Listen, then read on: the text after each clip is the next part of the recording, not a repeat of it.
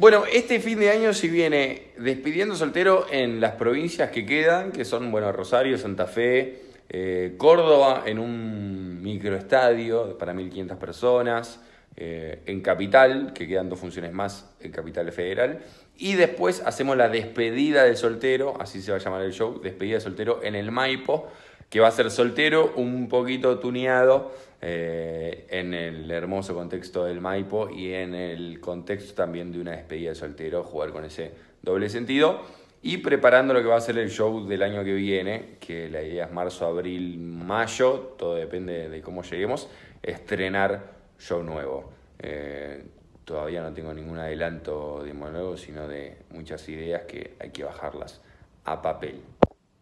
Bueno, post soltero se viene un show que, que tengo ganas de que sea la precuela de soltero, sino toda la, la, niñez y la juventud y todo ese paso eh, por un tiempo horrible en el que nuestros padres hacían de nosotros lo que querían y contar la historia de cómo llegué a ser la persona que soy hoy, pero arrancando desde antes. Esa es la idea, estrenar, estrenarlo el año que viene y ver de sumar cosas en cuanto a producción y, que sea un show más armado para poder estar eh, fijo en Buenos Aires, que este año es la primera vez que hice un ciclo de estar todos los sábados y la verdad que me sentí muy a gusto, así que la idea es el año que viene poder estar viernes y sábado, si es posible, acá en Capital Fijo con este show nuevo que, bueno, eh, todavía no sé el nombre porque el nombre es lo último que se pone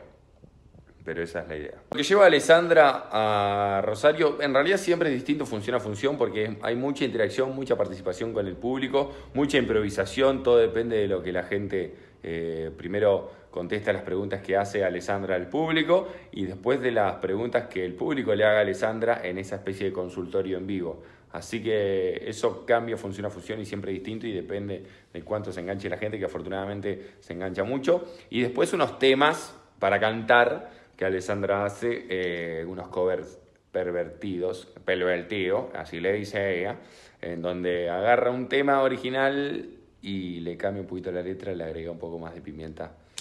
para que sea más picante. Eso va a ser Alessandra, que es como la telonera de mis shows.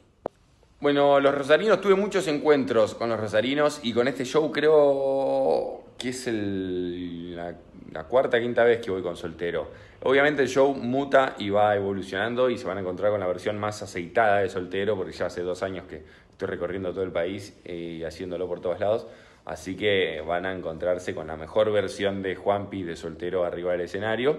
eh, y con un show muy eh, dinámico y despierto y participativo también. A veces, a veces peco de muy participativo, la gente se mete en el show, no, pero es lo que me divierte y es lo que me da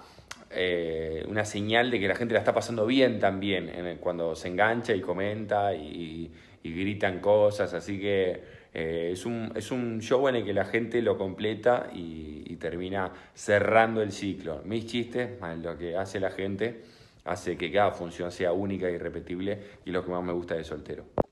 Y bueno, desde acá, desde Buenos Aires, Juanpi González quiere invitar, hablo en tercera persona, quiere invitar a toda la gente de Rosario y alrededores este jueves 25 de octubre al Teatro Broadway. Primera vez que voy al Teatro Broadway, eh, me dijeron que es un teatro muy lindo, así que quiero conocerlo, estoy ansioso. Y última vez que voy con soltero, así que si no lo vieron, es la última oportunidad que tienen. Y si ya lo vieron, pueden volver tranquilamente porque el show cambia año a año. Así que todos invitados este jueves 21 horas en el Teatro Broadway, las entradas en juanpigonzalez.com y si no, en boletería del teatro. Y también le quiero mandar un saludo muy especial a toda la gente de Yahoo. Así que nos vemos este jueves en Rosario y después de ahí vamos a brindar, a, a tomar una copita de algo. Qué bonito.